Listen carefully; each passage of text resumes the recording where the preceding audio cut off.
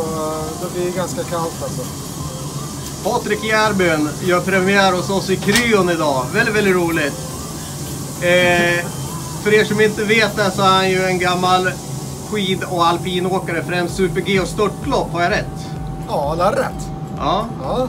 Om jag kommer ihåg rätt så har du ett silver i super-G och ett brons i störtlopp i VM. Ja, 11 år emellan och ett silver i lagtävlingen. Ja, om vi bortser från lagtävlingen så innebär jag, jag gissar och tror att du rankar bronset högre för att det var just störtlopp. Jag var kickad ur laget också. Jag gjorde allt själv. Och på hemmaplan, oslagbart. Ja, men är inte ändå störtlopp lite Rolls Roycen inom det alpina? Det var så Absolut. jag tänkte. Formel 1 i motorsporten, ja men helt klart. Lite tuffare killar.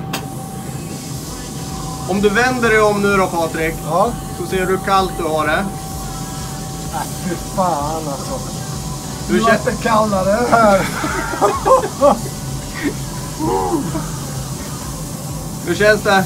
Nej, det känns som jag har stått tillräckligt länge nu faktiskt. Ja, två minuter kvar.